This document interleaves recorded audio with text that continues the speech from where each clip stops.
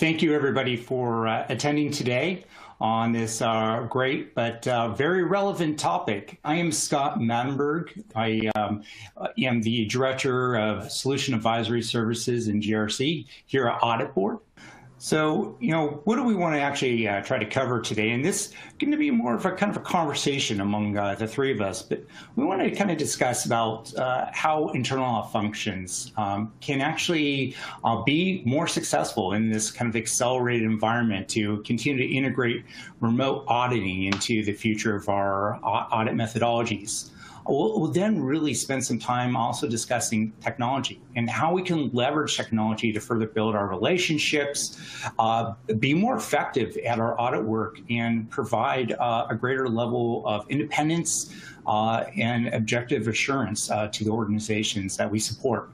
Finally, uh, we want to speak to talent and how uh, we can help our talent and, and those that are prospective future uh, in the internal audit environment provide uh, them opportunities and be more valuable not only for themselves but you know to the organization as a whole and to the profession. Let me hand it over to uh, Harold for uh, his int quick introduction as well. Thanks a lot, Scott. As Scott mentioned, I'm Harold Silverman. I'm the Managing Director of professional practices at the Institute of Internal Auditors. Uh, I've had the role for a couple of years.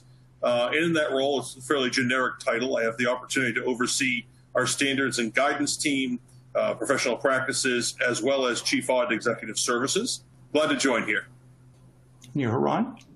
Yeah, so uh, thanks, Scott. Thanks, Harold. And I, am the Chief Audit Executive at AGCO. I started my career with uh, Andersen and then transitioned to PwC for a number of years both in Brazil here and here in the U.S.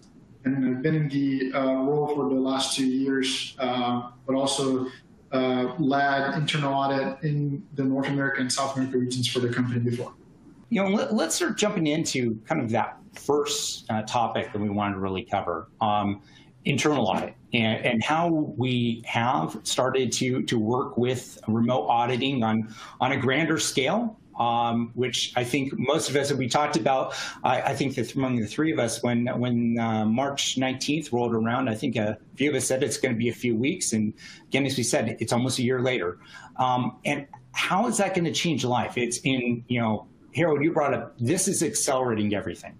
You know, I think there were plans in place for eventually but this is put on the fast track. So, you know, I'd love to, to spend the, the, you know, the next few minutes just really start talking about what does this mean from an internal audit perspective? And, you know, I, I guess, Heron, you know, from your perspective, you know, obviously you, you guys uh, have had some technology in place, but, you know, what has been kind of the, the, you know, the impact overall uh, to your team, to your environment, and and um, working a lot with your stakeholders too, who have also been impacted.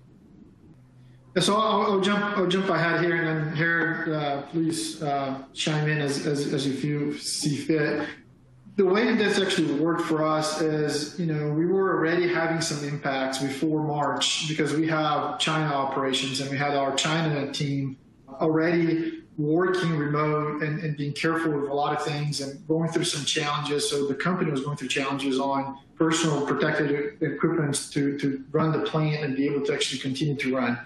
AGCO was also uh, considered a key uh, industry because of the supply, food supply globally. So none of our plants pretty much stopped right away, but we literally turned the key uh, in March to say everybody goes remote on offices and everything. They can work remotely. Uh, for internal audit particularly, we were going through our planning exercise. We were finalizing our internal audit plan for 2020. And we were a few, few days ahead of presenting to the audit committee in, in, in, March when everything turned to be remote. So we had to have a very quick turnaround of adjusting our plan and already considering what was happening when we discussed with the audit committee. And then I think one of the key things we had to turn around was performing SOX completely remote for the first time ever. So, and, and, the team all jumped into this. Everybody kind of gathered together and started looking for ideas on how we can make this work, even though not being in the same place. And, and as you said, Scott, I think we still we already had some technology implemented. For example, Audit Board was already implemented, which help us document and track and see where everybody is on testing, especially, for instance, from a SOX standpoint. We also had some other technologies like you know Teams that was uh, rolling out in a company, and we were able to actually put our co-sourcing partner and our internal teams in the same environment, where even though they were remotely working, they could connect easily and fast and get the answers to what they were uh, questions they had or concerns they had, and share the information right away. So I think that's what the, the major key thing that happened right there in March, um, and, and it proved itself that it was successful we're even thinking now, as, as again, we're going through the plan, how 2021 is going to look like even further. Do we continue to do completely remote audits on SOX, for instance, or we need to visit some sites? That, that's the, the key thing and the key question that we have right now. Yeah, and I'd like to get back uh, to that question on kind of the site visits. And I know we were talking about that and developing that audit plan and obviously the challenges involved. You know, Harold, I'd like to get your perspective. It's maybe some of the CAEs you've been talking to that um, may have not had technology or weren't quite ready for it. You know, it, you know, what have you heard and seen from that perspective? Yeah, thanks, Scott. Um, and, I think Heron's story is is a very good one and consistent with those that have been successful. Not just stayed even, but actually moved ahead and, and, and provided even more value to organizations. You know, I think when we were planning this session, I, I shared I had the opportunity to actually be in person at the IIA's uh, General Audit Management Conference on March 15th, 16th or so, and I was flying home on March 17th. It was, you know, we'd just gone to a full virtual event. I remember thinking on the three or four hour flight home from Las Vegas, this is going to be strange, as you said, to be locked down for a couple of weeks. And, you know, I, I joke, it's almost a year later, and here I am in my basement getting ready for the next GAM, which is also going to be virtual. And when I started, when I actually got home and got back into working, as a veteran of this profession, you know, my first thought was, how do we keep moving? How do I mean, being in the field, working in, you know, coat closets, so to speak, in the small conference rooms, and when you're in the office working in a tight knit group, is part of the culture of internal audit. This is not a this is a hands-on profession. This is in in the field profession. I, I really question how the profession could keep moving forward. And so and we started to do research and we started to do we did a number of quick polls from the IIA to our audit executive center members and other chief audit executives. And what we found immediately was from a statistical standpoint, or sort of quantitative standpoint, I think it was about two thirds of internal audit functions had re- reviewed and re-revised their risk assessment, even in the first weeks and month of the pandemic. And I think it was something like three quarters of internal audit functions had updated their audit plan, which was in my mind, great. And then as we dove in and started having a lot of conversations with CAEs, and, and the anecdotal pieces came through, two things really became clear. One is that organizations, functions within organizations that had strong relationships existing with their management, with their board, provided an opportunity to add value during the pandemic. We're, we're called upon to do things either within their normal scope or expanded scope and organizations that had internal audit functions that had made investments in technology were way ahead. Both you know products like like audit boards technology, Zoom, Teams, where they're able to stay connected and, and share work with management. They they really had a leg up.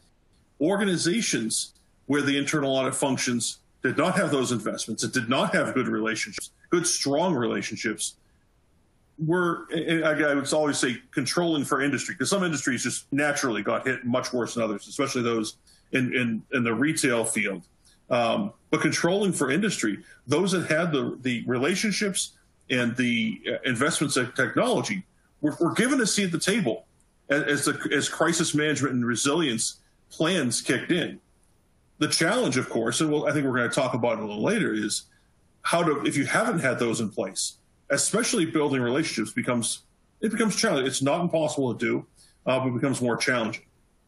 Yeah, no, no, and I know we're going to talk a little deeper about uh, technology in a few minutes, but you know, you bring up about the risk assessments, and I know, you know, early on, uh, back in going back to April or in May of last year, uh, we we had a lot of discussions with various audit audit teams and and the like about risk and again, it was suddenly you do most organizations were doing these annual risk assessments, but the objectives changed immediately overnight.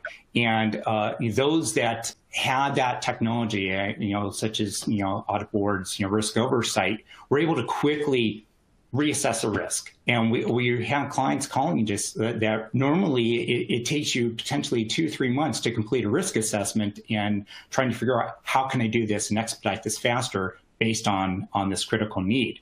Um, and, you know, we're also seeing is, there have been so many other things that have happened in 2020, which is a year I think most want to forget. You had to keep reassessing that risk assessment because it wasn't just that the COVID was around. There were there were other geopolitical things that were taking place. So we'll we'll get into that further. Heron, I wanted to just real quickly come back to you about your audit planning. And, you know, obviously, you know, there was impacts on how you would complete your SOX works or even your, your audits, you know, and the planning, the fieldwork, the reporting, um, and, and, and even communicating with your stakeholders. And a lot of them that was new to them. How did that change further? And you know, how do you expect it to to be in 2021 as you're building this? Yeah, Scott, and before I even answer that question, I just wanted to just comment on the risk assessment. We, we did a similar yeah. thing. We had to literally do a monthly update and, and literally go every single audit committee uh, last year, updating them on what the new risks are. Um, and at one point, we had a, a, final risk assessment before the pandemic, then we had an overlay of the pandemic, then we had a pandemic only risk assessment, and then we had one after, which kind of merged everything. So was was all over the place. Was it was it definitely a, a crazier in that perspective? So talk a little bit about uh, planning. Last year, what we've done is we, we, we, we had to go back to the internal audit plan that was approved in March then we had another meeting in April with the audit committee where we had to go back and say, okay, from what's going on versus what we can do, and, and, and looking at all perspectives, what have we need to, what do we need to change in the audit plan? And what we've done then was we, we assessed and said there, there are a few, for instance, site visits. You mentioned site visits before, Scott. So there's some site visits that we felt that we are not as often going to the site and by doing it 100% remotely, it's not going to be as effective. So we kind of pushed them aside and said, we're going to probably pick those next year. Let's focus on the ones that we, we, we, we are there regularly and we can be there regularly, or we know the process, we know the stakeholders really well, so it's going to be an effective remote audit uh, that we're going to be able to do in 2020. Now, that being said, of course, there's limitations to what we can do. And especially when we talk about manufacturing companies like we are, a lot of it related to inventory, to uh, receiving and shipping products and, and material handling and things like that, which it's really hard for us to audit remotely. Yeah, we could do, we could probably use, you know, remote cameras and things, but we decided to scope those out in this year and focus on the areas we could actually do remotely um, in 2020.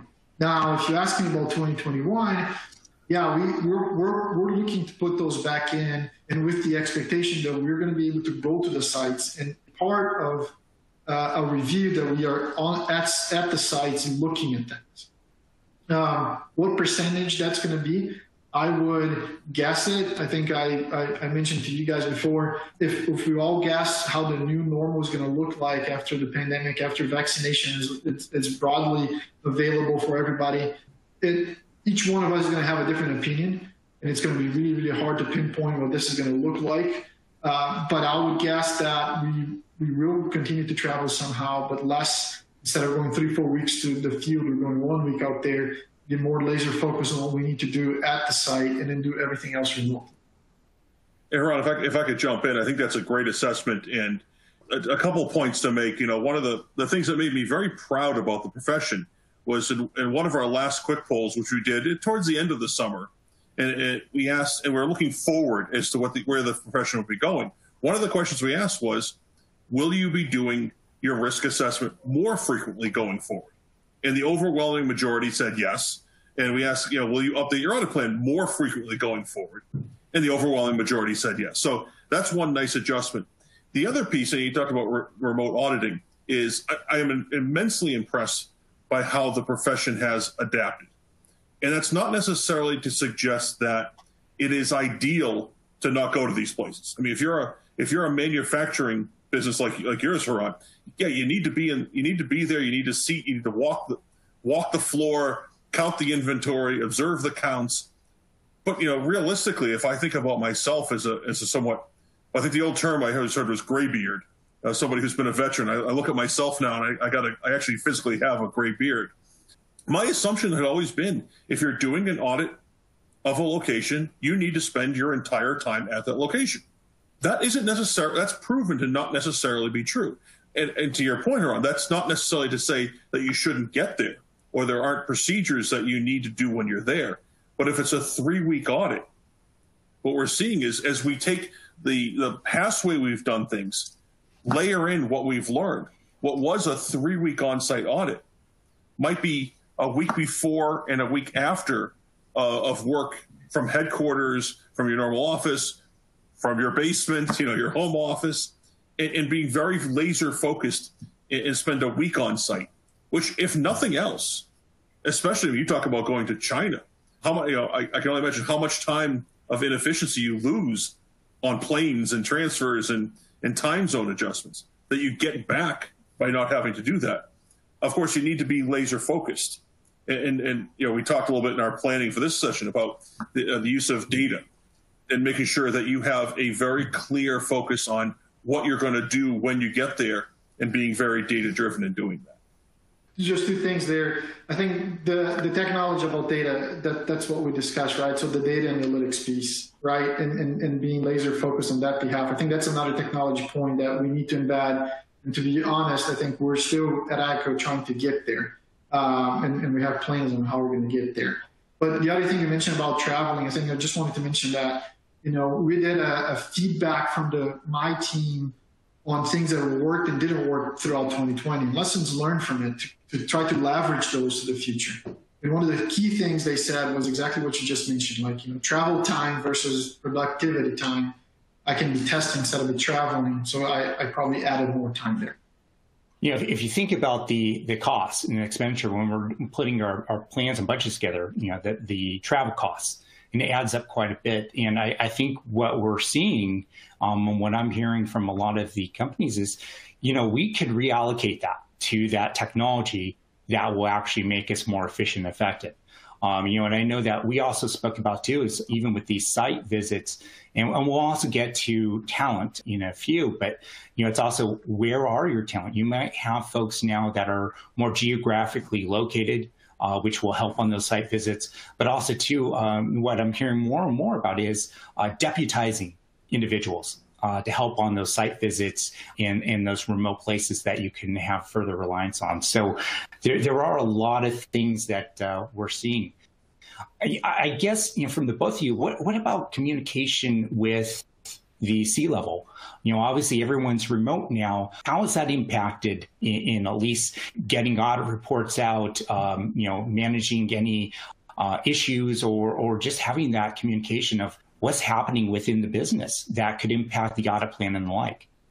I was just going to mention the way we're approaching that at AGCO. I think the C-suite, of course, it, it, it's always a challenge. Even sometimes, even if it's at the office, I think you have to understand what's on their agendas, and, and that doesn't change now with the remote environment. Uh, understand what the agenda of that executive looks like. What are you going to be talking to him, and the touch point that you're going to do? It's going to be meaningful for them and for us when we do it, right? So I think that doesn't change. But on, on the other side, I think yeah, we don't have that walk the hallway and, and bump into different people and, and, and see them regularly at the office and get to know different things that are ongoing. My suggestion is leveraging as much as you can any type of uh, social media and, and other things. So a great example I, I shared with you guys on the planning sessions when we were having some risk assessment discussions this year, one of the SVPs for AGCO, I, have learned that he, uh, his brother was like a quarterback at college, one of the top schools that, you know, they have some good quarterbacks coming out of that college. And, and I just started a conversation about that with him. So with an icebreaker, and then, you know, talking about it led to our risk assessment, led to him actually sharing things with us on what's going on in his area of the business and, and everything. So it, that type of connection we're trying to figure out and build, but that's just the icebreaker. I think the, the key things are understanding what's going on in the business, regular touch points with those guys, uh, sit down with them and understand what's going on, sit down with them and have the right questions, have the right agenda points to discuss with. Uh, oh, and that's, that's, a great point. One other piece I can add is a, a joke I've heard a couple times, which is that we're not working from home; we're actually living at work. And I think that brings an interesting dynamic. And it's going to be or every organization is going to have a slightly, you know, maybe slightly or, or more significantly different culture. But the definition of what the workday is, you know, if, if your office was traditionally a 8.30 to 5.30 or 8 to 6 or that's sort of broken down. And in many ways, the fact that we are connecting at different hours, at different times, I think some people take more breaks during the day because their children may be there or they have to they, ha- they have to teach their they're literally teaching their children in many cases provides more opportunities to have those connections with folks who frankly are almost impossible to get on their calendar you know less than a week out. Because if you're more if you're able to be more flexible and, and some people are and some people aren't and they're able to be more flexible all of a sudden that meeting at two o'clock which you had to schedule six seven days in advance becomes an impromptu discussion at seven o'clock in the evening or 7.30 in the morning or over lunch when you're you've you're you you got a, a quick break. And it depends again depends upon the culture of the organization but we are hearing more and more from folks who are saying it's actually sometimes easier to catch people because they're not as rigid in being in the office and and having frankly sometimes an, an administrator schedule their time and keep them on pace you're able to, to find them in the off times and weird times and I'm not sure. I'm not point. sure if that's for the, a better thing or a worse thing. And I will defer to everybody's individual judgment as to whether you know it's a longer day with more flexibility is better than a you know sort of shorter day where you drive into the office, drive home in the evening, but you could leave everything in the office uh, when you when you walk out the door. You know, kind of let's let's look at the topic. How is how is uh, technology building relationships, enhancing and providing greater assurance? Harold, I started with you. It looks like a lot of folks still haven't moved to a GRC solution, and, and we see that this the facts and figures are pointing that it's accelerating. Uh, do, you, do you think that will turn over time? I think it will. I think 2021 is going to be a, a challenging year, if for no other reason than, than belt tightening. You know, when we looked at when we did polls around what we foresaw as the future impact, you know, the longer term impacts of the pandemic, one, we saw extreme belt tightening. Thankfully, we saw a lot less belt tightening around staffing levels. That, that internal audit functions were able to, for the most part, and I don't want to, you know, there's probably people out there who have been in different situations, but for the most part, been able to hold the staffing levels. Travel budgets uh, absolutely demolished for even going into the future. And the belt tightening, you know, hits a little bit with some of the technology investments in the very short term. As we get back to normal, I, I certainly hope so. I, I, I see no reason why uh, internal audit functions should not be leveraging the opportunity to make investments in technology. And I think we will see that, especially as we get back to, and I, I hate to say it, you know, back to normal. Uh, I hate that term at this point. It truly has shown that those who had the investments in technology had a huge leg up in terms of the opportunity to, to add value over the last year.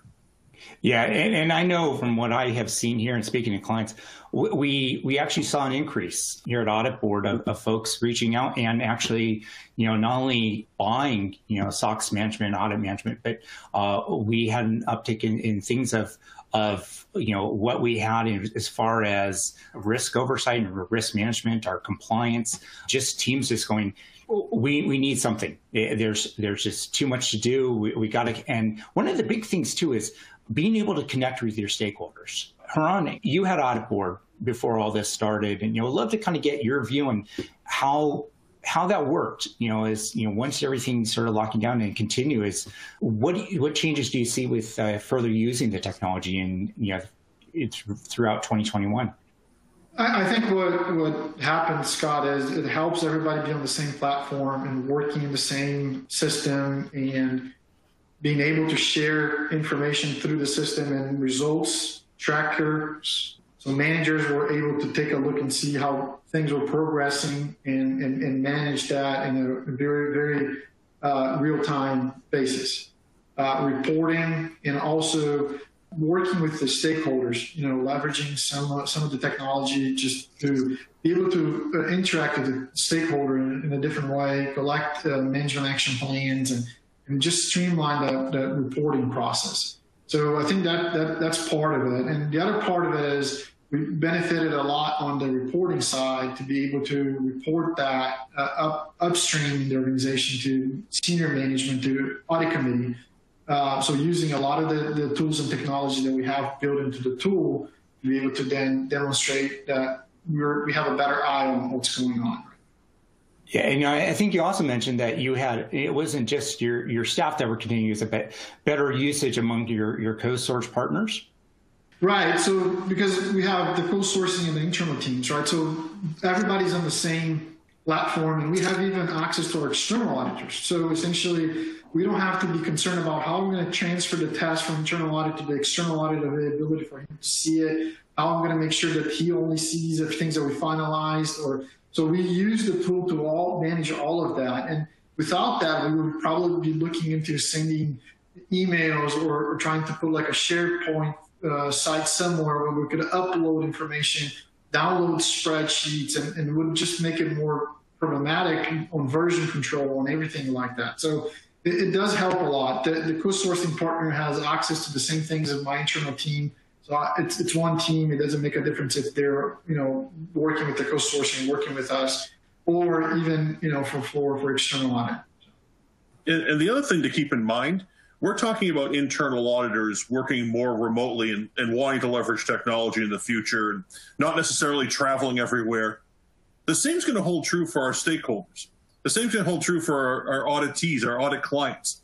So even if we had the budget and the time frame and our willingness to go to, to office locations and, and spend you know three weeks there. We're going to get there and find that some of the key employees aren't there they're at home. Or and i think we'll probably talk about some more or they never are there. They're remote employees as well who may be hired someplace else and working in a, in a different jurisdiction. And so the ability and frankly our businesses will start leveraging new technologies to take into take that into account.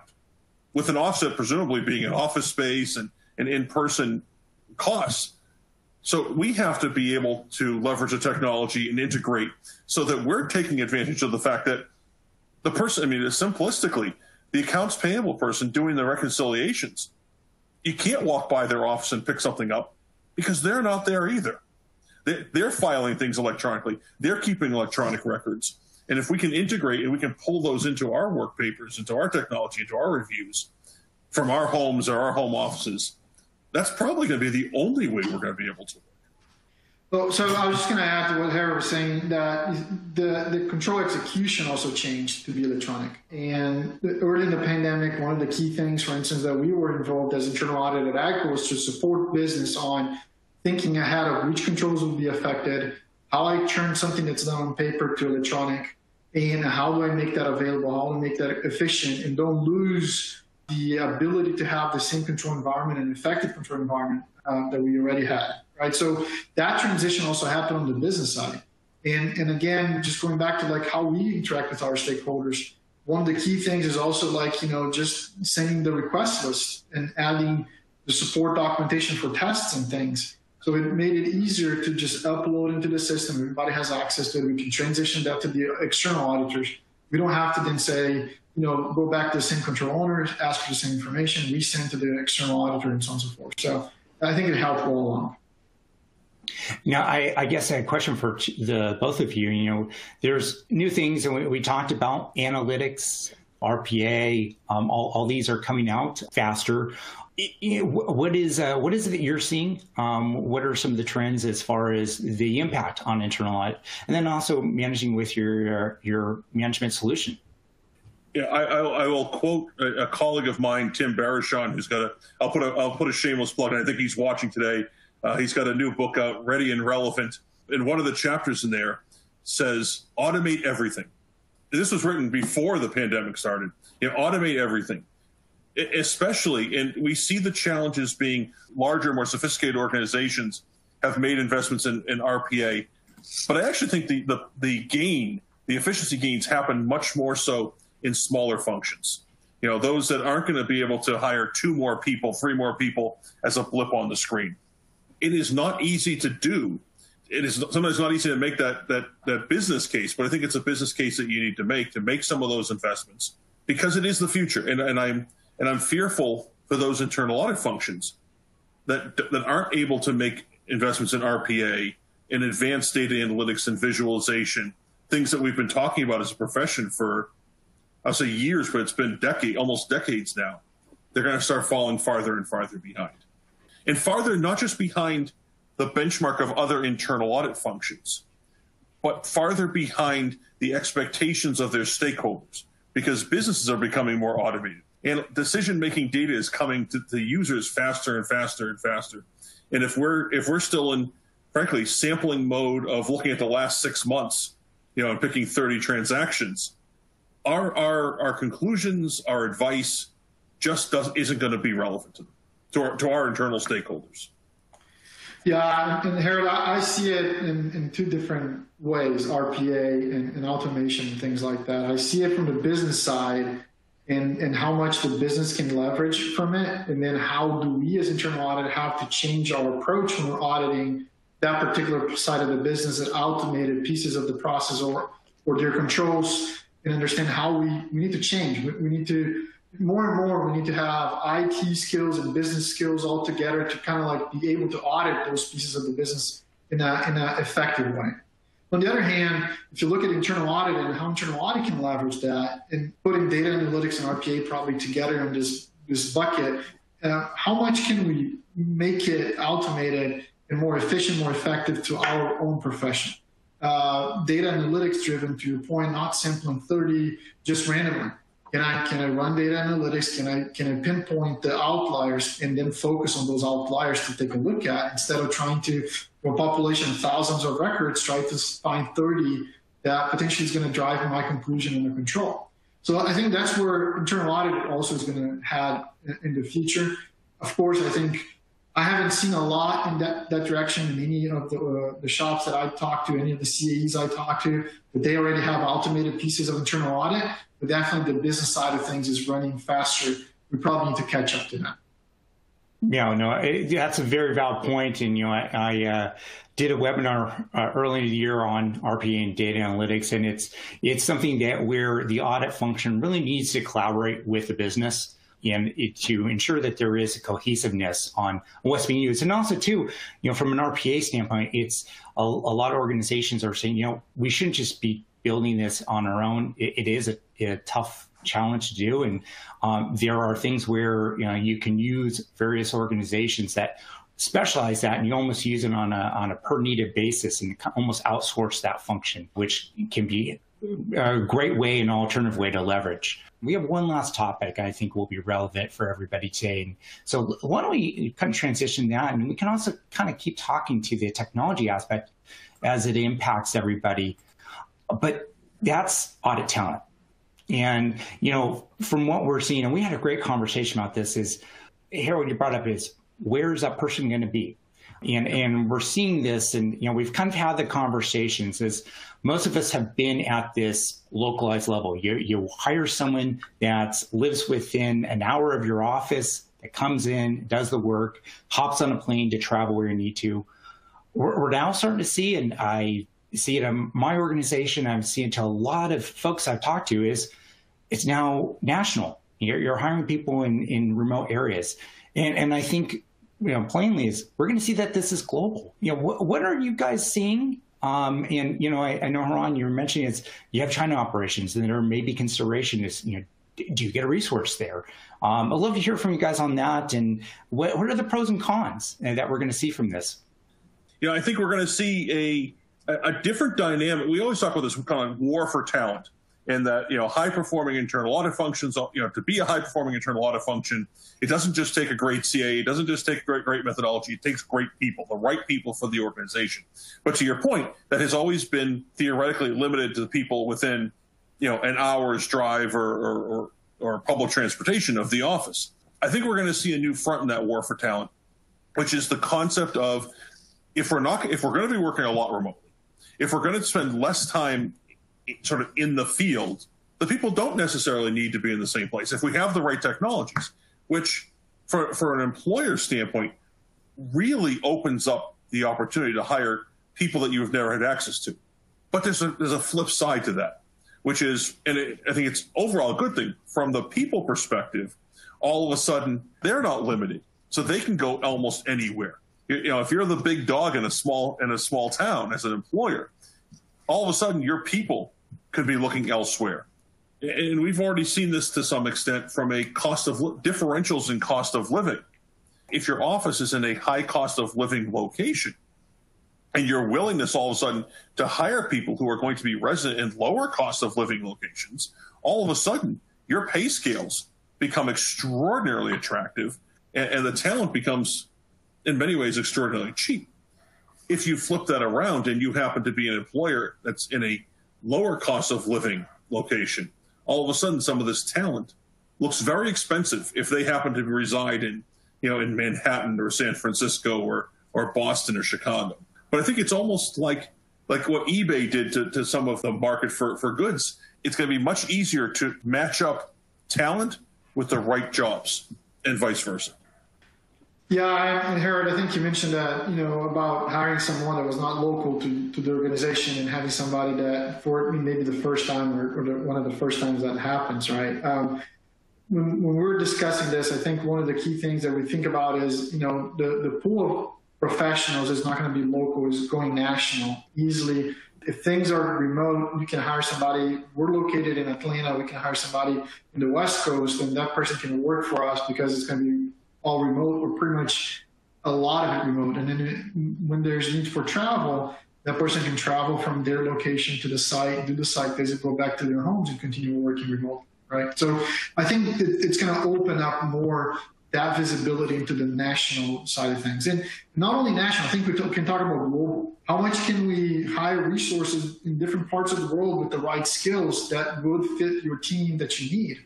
Of course, there's challenges to all of that. You know, when you talk about national, you were talking about high income and lower income areas or, or cost of living areas.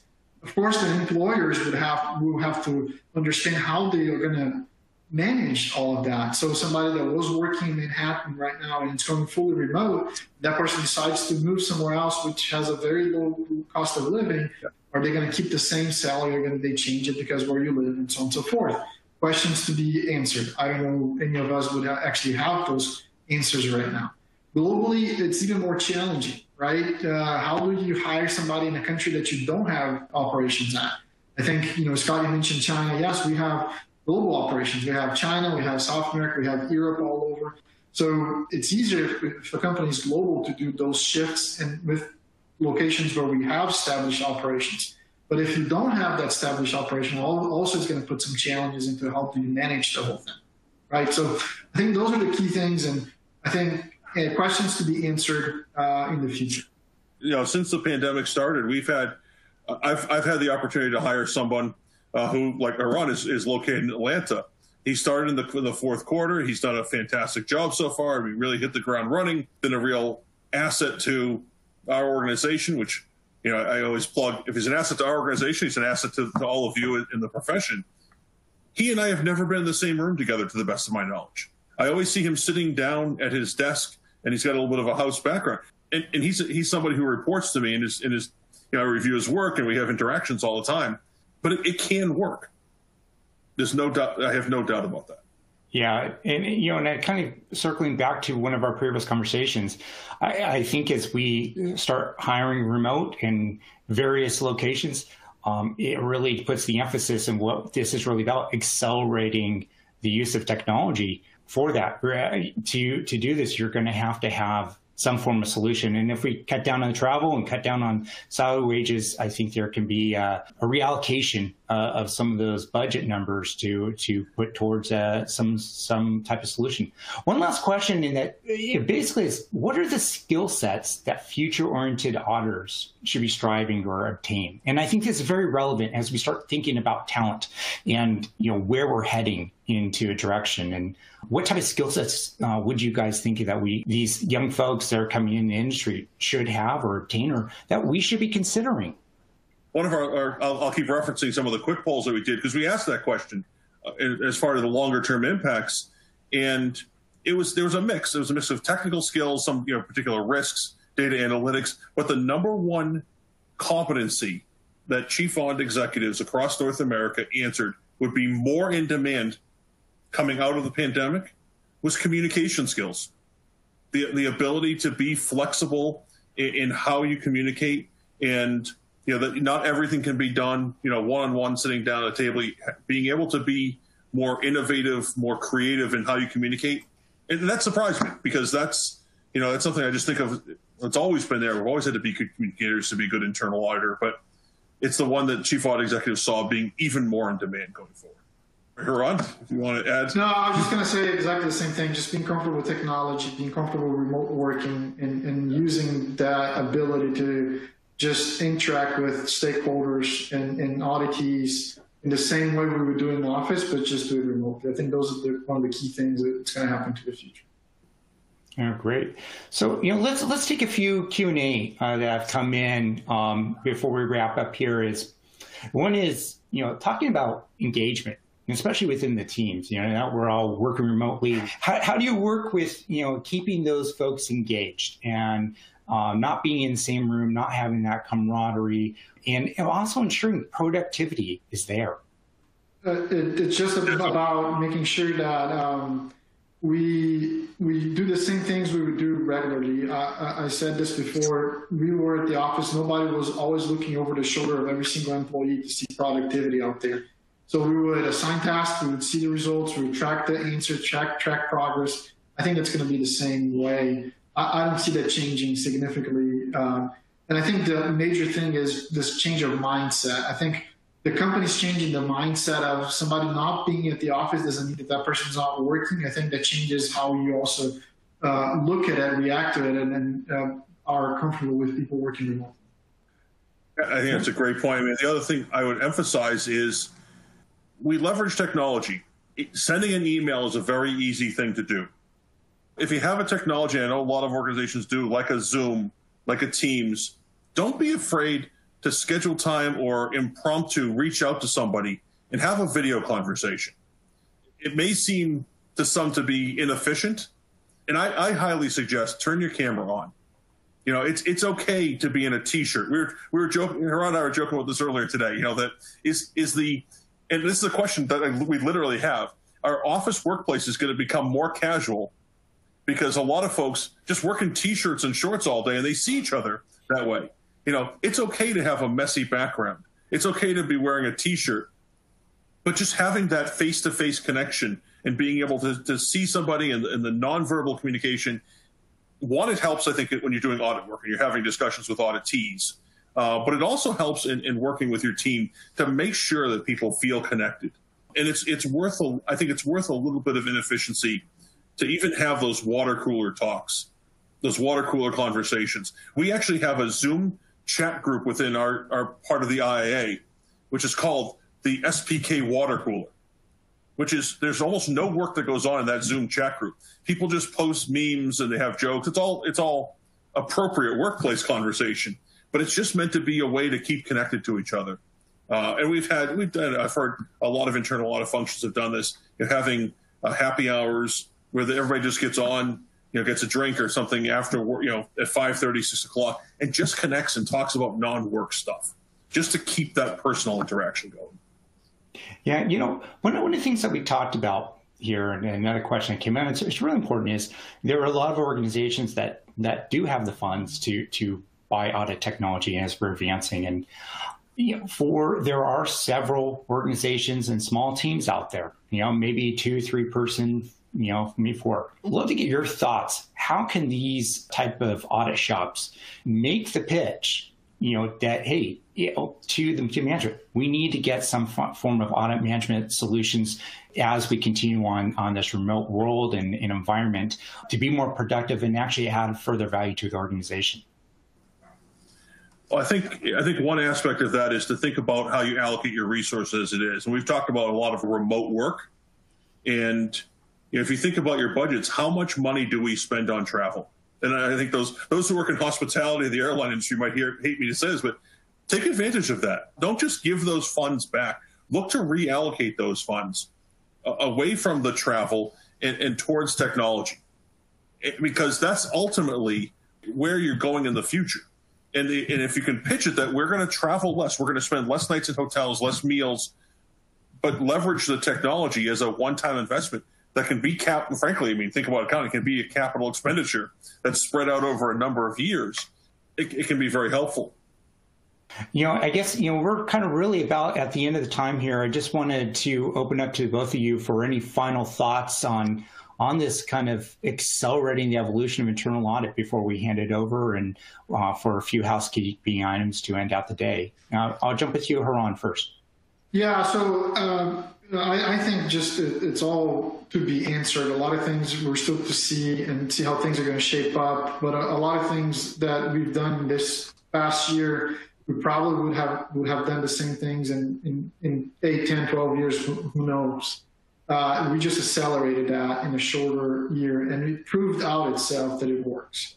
It proved out that the teams can work remotely, audits can be effective as done remotely. Of course, with its caveats that we need to probably be there for certain things. But definitely, I think the profession itself is just changing a faster pace and getting to where we should be uh, much faster than it would be if the pandemic would not have hit us.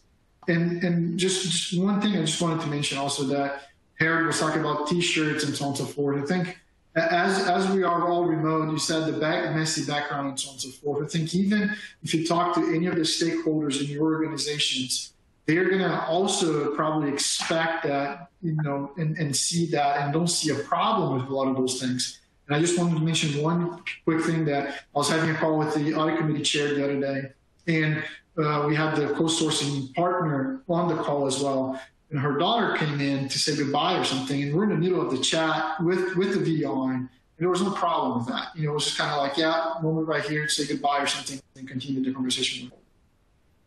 Here, Harold, any final thoughts?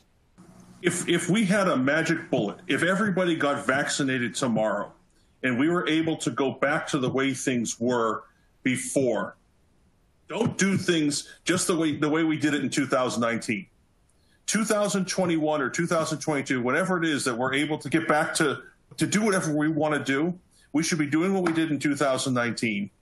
Take the advantage and, and modify it for what we learned through 2020, 2021, because ultimately that's the way we can best serve our organizations enterprise wide.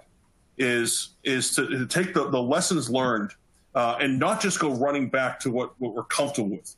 And, and that goes, and we, we, we talk about the IA a lot, not just to audit what you're comfortable with, to take on, you know, what's, you know, follow the risk, as, as Richard Chambers often says. But in terms of the methodology, don't just go back to 2019.